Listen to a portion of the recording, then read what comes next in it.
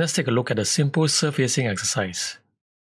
We have a disc here with a small extrude at the side. This smaller extrude is stepped down from the top face of the disc.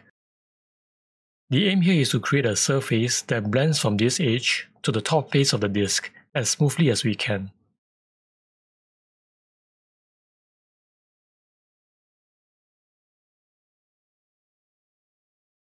If you wish to follow along, you can simply extrude the disc, followed by a smaller profile at the side. For this smaller profile, extrude it to roughly half the height of the disc.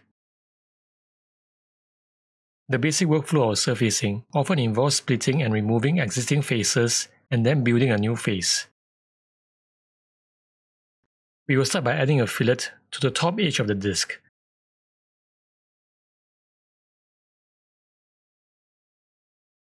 and these two edges. When it comes to building surfaces manually, you will find that fillets not only provide a good starting surface, but they often provide tangent edges, which can conveniently be used as splitting edges. We want to find a neat way of removing the existing faces. We are going to split these two faces with a split line that is collinear with this existing tangent edge. We will not be able to directly use this tangent edge as a splitting tool, one way is to perform a sketch, but we can also do this without a sketch. Activate the Surface tab. Go to Create, Ruled.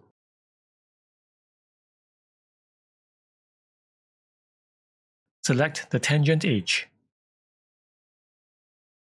Set type to normal and adjust the distance. This creates a surface body that pivots about the tangent line. The distance does not matter here, create another ruled surface on the opposite tangent edge.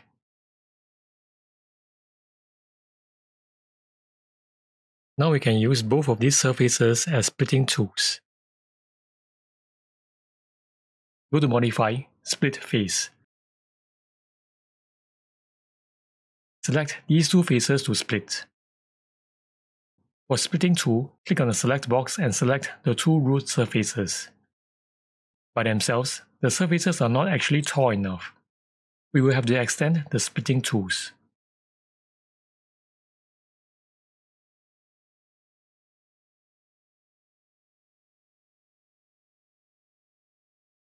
After we are done, we no longer need these surface bodies.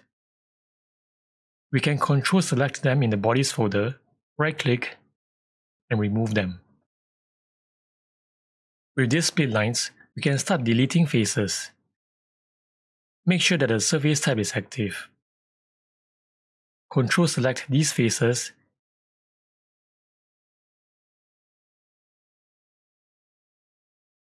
and simply hit the delete key.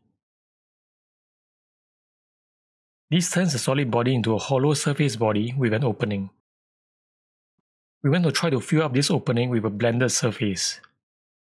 When it comes to building faces, we want to prioritize using the sweep or loft command over the patch command as the former tend to produce higher quality surfaces. The sweep or loft commands work best to produce a four-sided surface. Looking at the model, it makes sense to join these two edges with a four-sided surface. Because these two edges are of differing heights, it would be appropriate to use a loft here. With the surface tab active, go to Create Loft. Let's uncheck the chain selection option so that we can select edges individually. Select this edge as the first profile. And click on the plus sign to begin a second profile. Select these two edges. Fusion is usually intelligent enough to link these two edges into a single profile. We want the surface to follow the existing edge that we already have at the bottom. Click on the arrow for the rails and select these two edges.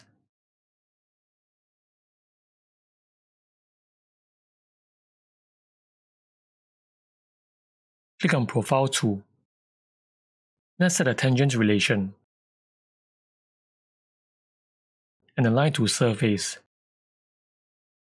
so that it aligns to this adjacent face.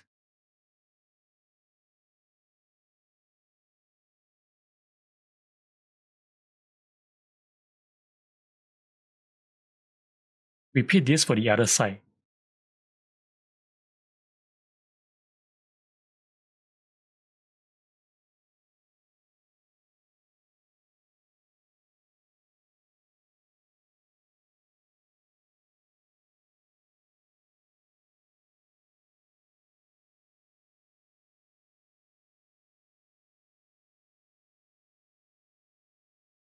Now we are left with a six-sided opening. At this point, it is difficult to see how we can proceed with a four-sided surface. So I'm going to cover this with a patch. Go to Create, Patch. Uncheck the Enable Chaining option. And proceed to select the edges that border the opening.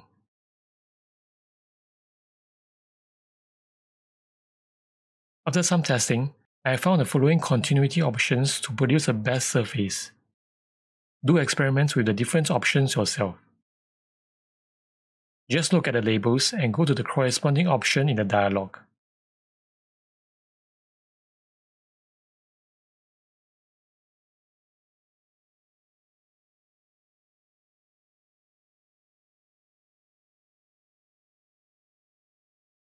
You can adjust the strength of the tangency by adjusting the value or by dragging on the arrow.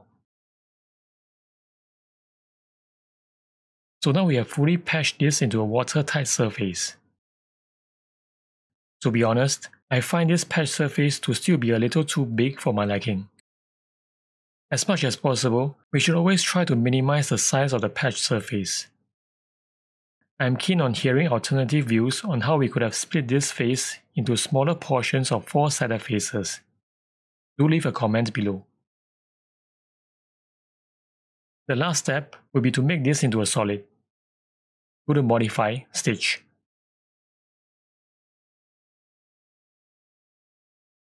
Box select all these surface bodies.